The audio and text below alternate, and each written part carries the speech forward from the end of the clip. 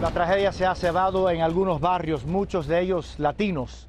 Hoy hemos sabido de la muerte de una familia completa, los Saldívar, ahogados en el interior de una furgoneta. Entre los muertos hay cuatro niños, el menor de ellos seis años y los bisabuelos de las criaturas. Otro familiar que consiguió salir de la furgoneta ha contado que él mismo la conducía hacia un lugar más seguro, pero que de golpe la corriente se los llevó y solo él pudo escapar.